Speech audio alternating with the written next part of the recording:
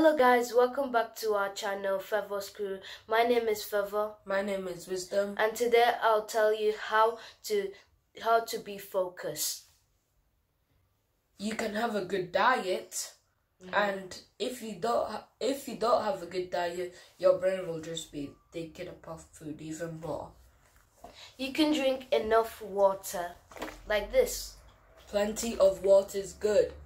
If you don't drink plenty of water, you'll have low mood or you'd feel headache and those will not let you be focused in homework or educational stuff.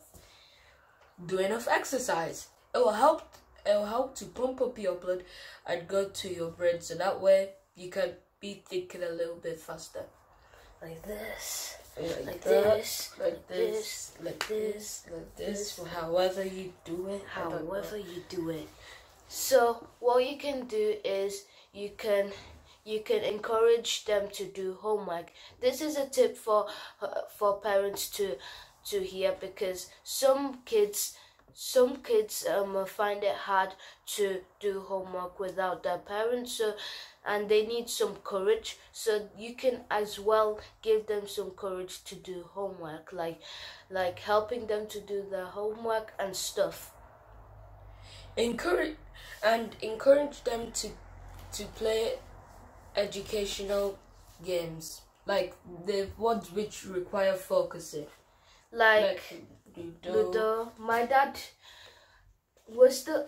I'm. I'm not too sure. Um. Uh, I'm not too sure on playing it, but my dad still learn.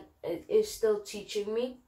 we have cards here Yeah, I am really good at cards. me too So it's it's much more fun doing the cards because you can beat your opponent and do another opponent and then be the winner. and you can also trick people that's the best thing about it oh, the good times. hmm Thank you guys for watching today's video. I hope these tips helped help you. I hope these these tips we said helped you.